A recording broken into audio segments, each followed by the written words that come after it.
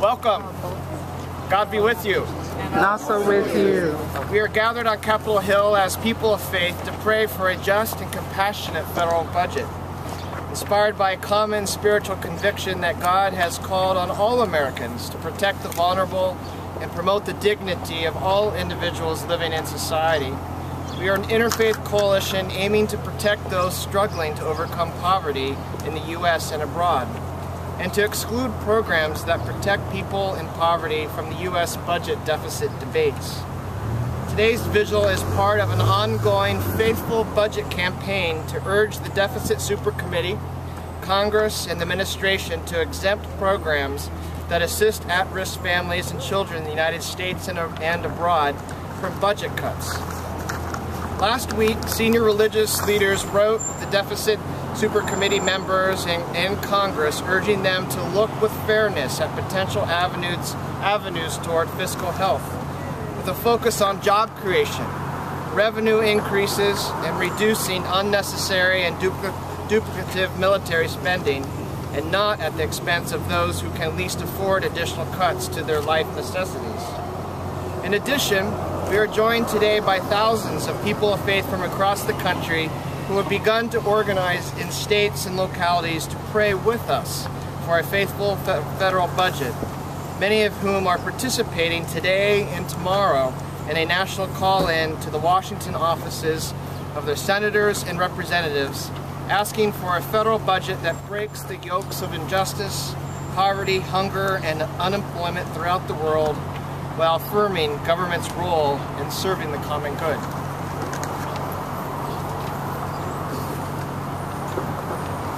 Please join me in a spirit of prayer.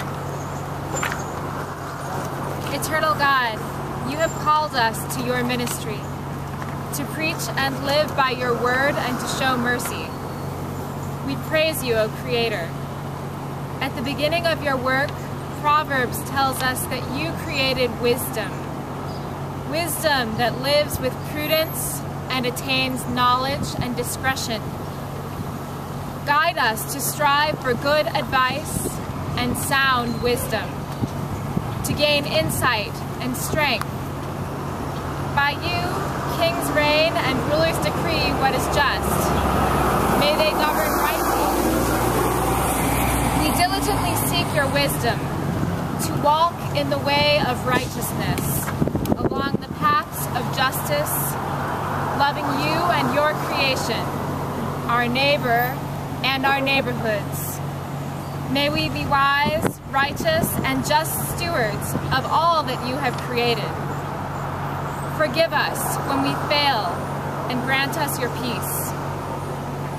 Keep your spirit with this gathering as we meet and gather together so that in everything we may do your will.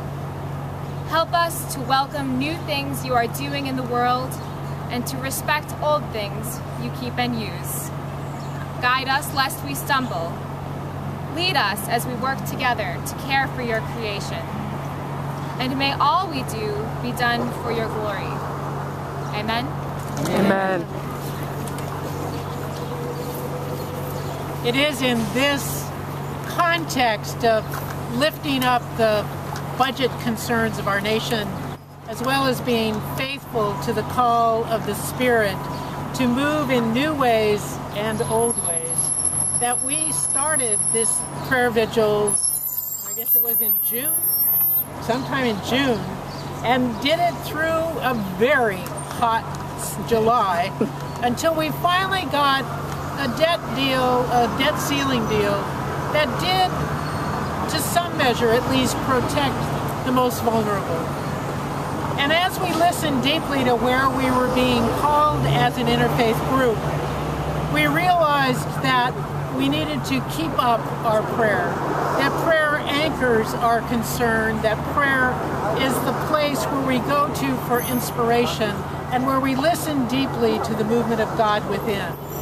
And that is what has brought us here today to start again the vigils, being quite grateful that it is much cooler than it was in July, but also quite grateful that we are joined by so many people who share our same concerns in our hearts. both that are present here and that are joining us around this country.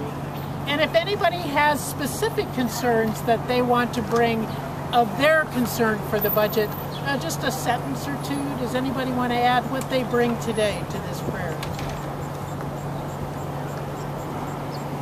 Oh, be bold. for common sense to prevail as they do this and they we don't duplicate and we don't do things because it's in somebody's district and they want to look good that they look at what's for the good of this nation which is the good of all the people a common sense approach not just a district approach for the good of all I love it. Early childhood education. early childhood ad the thing that is the biggest resource for our future we know anything Integrity on the part of the legislators. Integrity for all of us especially on the part of legislators Continue to be help for the unemployed generosity to the poor of the world. generosity to the poor of the world.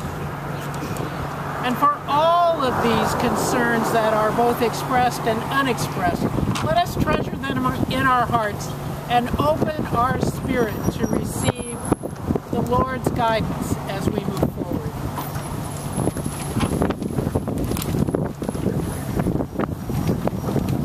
Reading from the prophet Isaiah. Shout out, do not hold back. Lift up your voice like a trumpet. Announce to my people their rebellion, to the house of Jacob their sins. Yet day after day they seek me and delight to know my ways, as if they were a nation that practiced righteousness not forsake the ordinances of their God. They ask of me righteous judgments. They delight to draw near to God. Why do we fast? But you do not see. Why humble ourselves, but you do not notice? Look, you serve your own interest on your fast day and oppress all your workers. Look, you fast only to quarrel and to fight and to strike with a wicked fist. Such fasting as you do today will not make your voice heard on high. Is such the fast that I choose? A day to humble oneself? Is it to bow down the head like a bulrush and to lie in sackcloth and ashes? Will you call this a fast? A day acceptable to the Lord? Is not the fast that I choose to loose the bounds of injustice, to undo the thongs of the yoke, to let the oppressed go free, and to break every yoke? Is it not to share your bread with the hungry and to bring the homeless poor into your house? When you see the naked, to cover them and not to hide yourself from your own kin. Then your light shall break forth like the dawn, and your healing shall spring up quickly. Your vindicator shall go before you. The glory of the Lord shall be your rear guard. Then you shall call, and God will answer. You shall cry for help, and God will say, Here I am. If you remove the yoke from among you, the pointing of the finger, the speaking of evil, if you offer your food to the hungry and satisfy the needs of the afflicted, then your light shall rise in the darkness, and your gloom be like the noonday.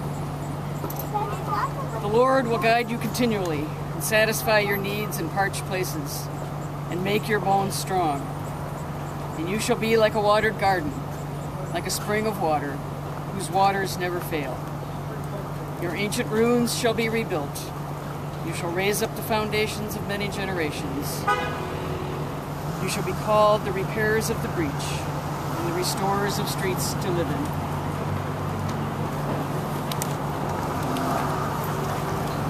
If you want to be bold and shout out any of your reflections on this reading, please do so.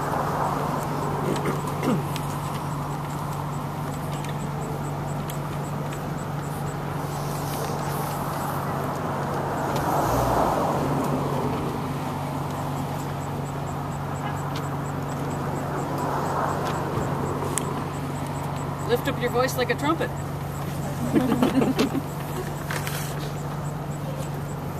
If you'll turn your pages over then we will continue a litany for a faithful national budget that we have been using, which was originally prepared by the Maryknoll Office of Global Concerns and certainly covers much of what we're concerned about. Let us pray. Blessed be our God. 20% of all children in the United States live in poverty. We cannot leave our children a legacy of rising debt, nor can we leave them a legacy of rising poverty. We pray for a just and compassionate budget that protects all our children from hunger and homelessness, from inadequate education and health care, from poverty. Our God hears the cries of children who are poor.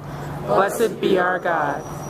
Many older adults in the United States live near or below the poverty line. Social Security and Medicare are their lifelines. We cannot neglect the very real needs of our senior citizens. We pray for a just and compassionate budget that protects our elders from poverty, financial insecurity, and inadequate health care.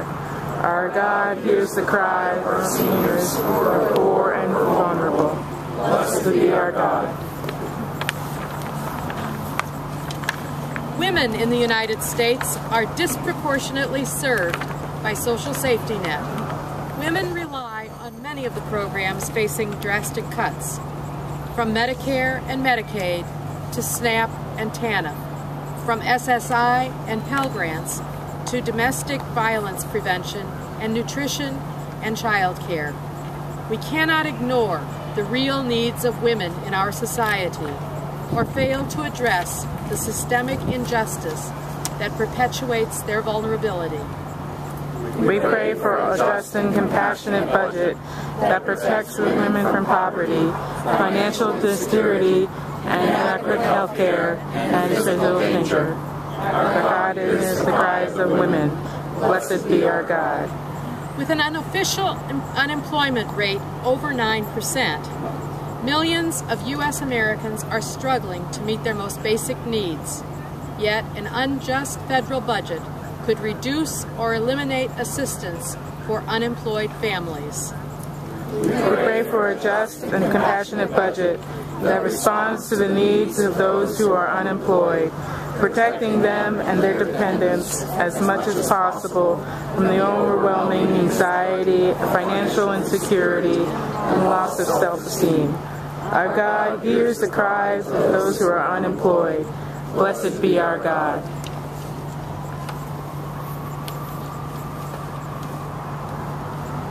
We live in a world that is intensely interconnected.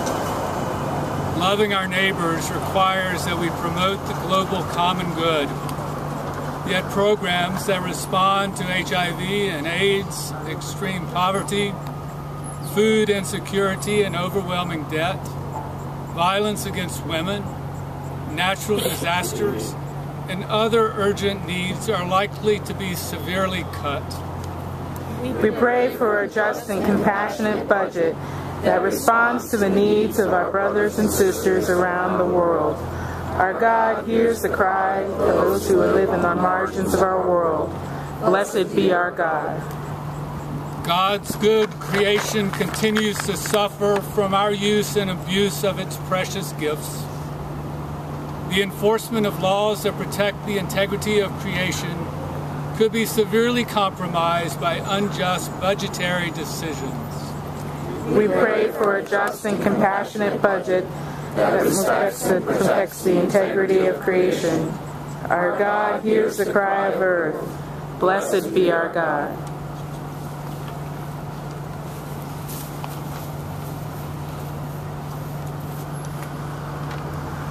For the gift of vision to see a way forward that is just and compassionate. Give us vision. For the gift of conviction to work with vigor and faithfulness for a just solution to the crises we face. Give us your courage.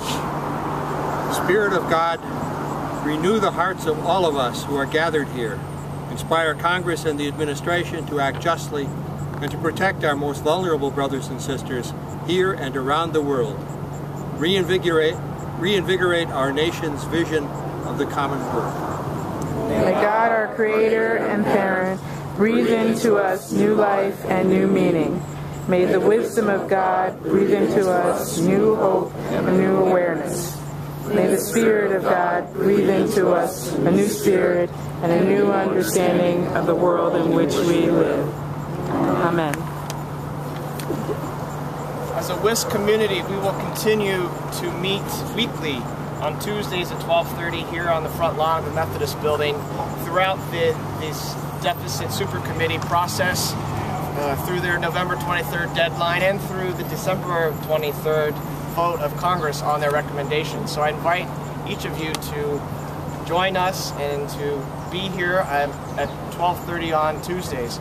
As we said in the opening, we are being joined by people of faith across the country. Uh, we are encouraging people to hold vigils outside of their members' district offices, targeting the super committee states.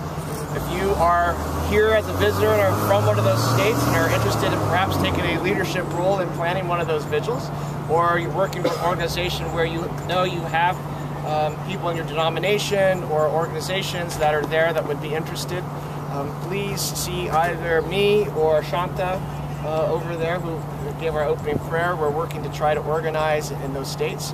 All building towards a super vigil on November 13th that we hope to hold here in Washington in Lafayette Park uh, on Sunday afternoon and be joined by prayer vigils throughout the country that, that will be happening at the same time.